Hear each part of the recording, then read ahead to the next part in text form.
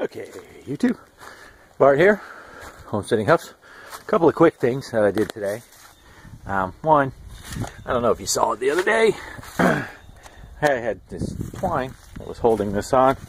Uh, I redid the bolts here. Got this in. I had to re-drill this hole. Um, whoever installed this awning didn't really get it on there right. Uh, so now that's all insecure, insecurely, I should say. Um, also lubricated this thing because that was binding up. Now closes beautifully. And then the last thing I did today, uh, you won't be able to see from here, but uh, well, hold on. Pausing, unpausing. Ladder magically appears. Oh, climb the ladder here. Whoop, pop away. Um, of course, without having shown it before, um, I painted the roof with elastomeric um, Blackjack Super Roof 1000. Um, just put a nice seal on it. You can kind of see, I don't know if you can see it on the video or not. I got to cut in around that air conditioning unit. I discovered that that vent over there leaks horribly. Um, I saw why it's leaking. I can fix that. And need to cut in around a little bit of stuff still. But for the most part, I got it all sealed. Um, I need to fix the awning down there, I see. Um, there were a few tiny leaks. We, we'd gotten a lot of rain a couple uh, couple weeks ago we got a ton of rain and there were just a couple of little drips that had made it through. I don't know if you can see up there where the paint and stuff but hopefully this will get it cured. Um, that roof jack right there just completely busted out and um, I can see where the water's going in tighten that window down because the kids had slept up there and didn't get it tight. Need to replace that travel mate and get a T. I don't know how I'm to get one of those. eBay, here I come, maybe. You can see I had done this one last week while we were camping. Makes it look snazzy. Okay. Uh, I had also painted this. Make that look a little better. I don't know and around that was all the screws were really rusty. Um, got a new tire because I had a blowout last week. So we did get a new tire on the front and then they put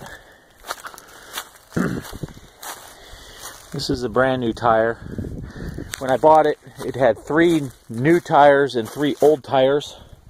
So they put a new tire on here, the brand new tire here, that was a new tire, but a little bit used. Um, that one they moved back here because this side still had two old tires. And if we come around here, on this side, we had one new tire and one old tire. And so they put the new tire in the front, moved the front new tire to the back other side because that was two old tires. And now here we have one old, one new. Over there we have one old, one new. Um, and then the front two tires are both new and the one being brand, brand new. So the next brand new one I get will go on the other front tire.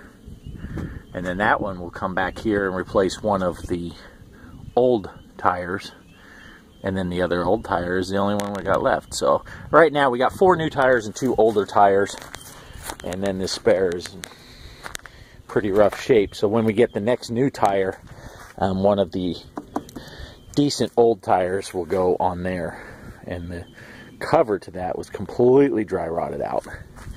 Um, so we just ruined it to get it off of there, and I gotta fix this bit of fancy fanciness there.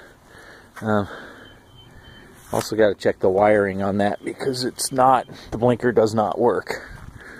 So, anyway, there it is. The Mighty Tech on a Ford chassis, in case um, I never really mentioned that before. It's got the Ford 460, drinks the gas pretty fast, but it's got a lot of power. I'm getting about 8 miles to the gallon around here. Not too bad. Kind of sunny, not too bad. Had uh, small solar update. Uh, was getting good solar today, midday. Um, actually had my meter stop.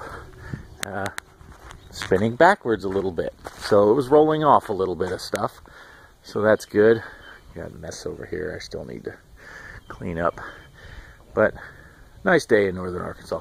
All right, that was just supposed to be a quick update. Now we're six minutes in. So y'all have a good day, and uh, I'll catch you next time.